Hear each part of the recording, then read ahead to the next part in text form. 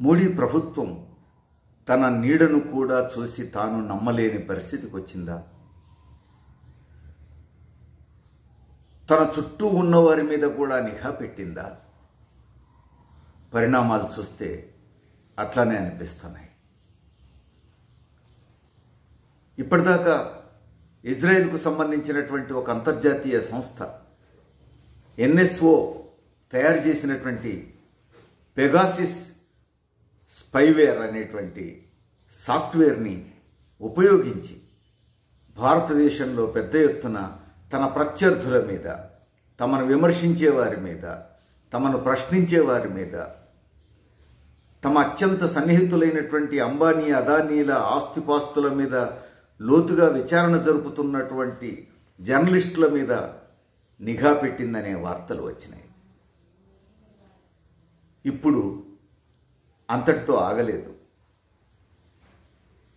దీని గురించి పార్లమెంటులో చర్చ జరుగుతున్నప్పుడు ఇదంతా సెన్సేషనల్ వార్తల కోసం మీడియా చేస్తున్నటువంటి డ్రామా మాత్రమే అని చెప్పి కొట్టిపారేశారు ఐటీ మంత్రి అశ్విని వైష్ణవ్. తీరా ఇప్పుడు చూస్తే ఆయన నెంబర్ మీద కూడా నిఘా పెట్టారని తేలింది. ఆయన నెంబరే కాదు ఆయన భార్య నెంబర్ మీద కూడా నిఘా పెట్టారు. అంతేకాదు మరో మంత్రి ప్రహ్లాద్ సింగ్ పటేల్ నెంబర్ మీద కూడా నిఘా పెట్టారు.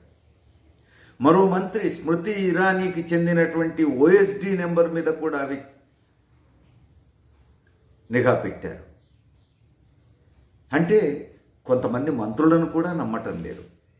కొంతమంది మంత్రులకు సంబంధించినటువంటి ఉన్నతాధికారులను కూడా నమ్మలేకపోతున్నది మోడీ ప్రభుత్వం. సరిగ్గా ఎమర్జెన్సీ రోజులు గుర్తుకొస్తున్నాయి.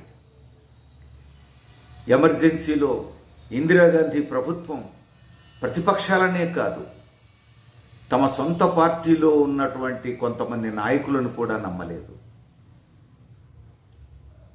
మళ్ళీ ఇప్పుడు ఆ ఎమర్జెన్సీ రోజులను గుర్తుకు తెస్తున్నాయి జరుగుతున్నటువంటి పరిణామాలు.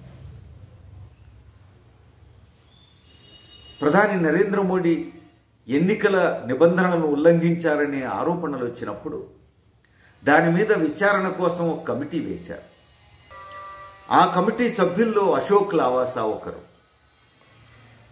ఆ కమిటీలో ఆయన ప్రధాని నరేంద్ర మోడీ ఎన్నికల నిబంధనలను ఉల్లంఘించారు అని స్పష్టంగా తన అభిప్రాయం చెప్పారు. పైగా ఆయన అభిప్రాయాన్ని రికార్డు చేయాలని చెప్పేసి పట్టుపెట్టారు ఇప్పుడు ఆయన నెంబర్ మీద కూడా నిఘా ఉన్నది. సుప్రీంకోర్టు చీఫ్ జస్టిస్గా పనిచేసినటువంటి వ్యక్తి మీద లైంగిక ఆరోపణలు వచ్చినప్పుడు లైంగిక దాడి ఆరోపణలు వచ్చినప్పుడు ఆ లైంగిక దాడి ఆరోపణలు చేసినటువంటి మహిళకు సంబంధించినటువంటి నెంబర్ల మీద కూడా ఇప్పుడు నిఘా ఉన్నదని చెప్పి తేలింది. ఎవరు చేస్తున్నారు ఈ నిఘా? ఎందుకు పెడుతున్నారు ఈ నిఘా? ఇది ఇప్పుడు తీవ్రమైనటువంటి విషయం. మోడీ ప్రభుత్వాన్ని ప్రశ్నిస్తున్న వారి మీద నిలదీస్తున్న వారి మీద విమర్శిస్తున్న వారి మీద ప్రతిపక్షాల మీద నిఘా ఉంది. తన సొంత మంత్రివర్గంలో కొంతమంది మంత్రుల మీద కొన్ని మం- కొంతమంది మంత్రులకు సంబంధించినటువంటి అధికారుల మీద నిఘా ఉన్నది.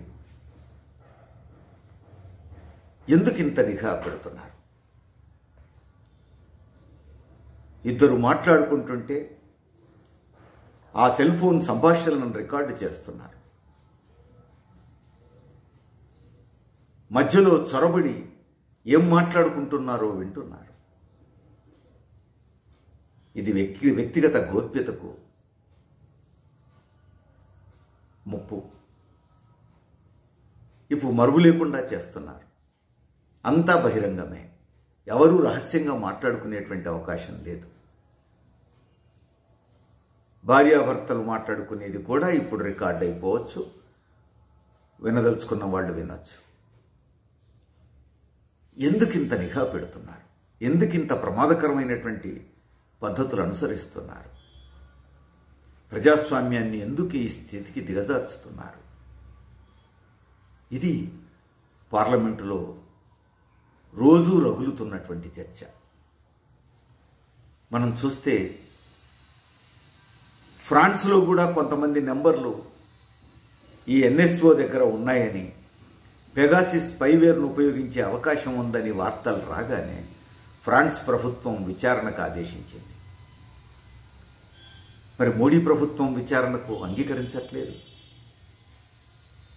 ఎందుకు అంగీకరించట్లేరు మోడీ ప్రభుత్వం కనీసం పార్లమెంటరీ ఉపసంఘాన్ని వేయడానికి కూడా ఒప్పుకోవటం లేదు. కారణం ఏమిటి? ఎందుకు విచారణకు నిరాకరిస్తున్నారు? తాము ప్రజాస్వామ్యం మీద నమ్మకం ఉంటే ఈ నిఘా తాము పెట్టి ఉండకపోతే తమ ప్రభుత్వానికి ఏమీ సంబంధం లేకపోతే విచారణ జరిపి ఈ నిఘా ఎవరు చేస్తున్నారో ఎవరు పెడుతున్నారో కూడా తేల్చాల్సిన బాధ్యత కేంద్ర ప్రభుత్వాన్నే కదా. ఎందుకు దాచిపెడుతున్నారు? పైగా ఏమంటున్నారు?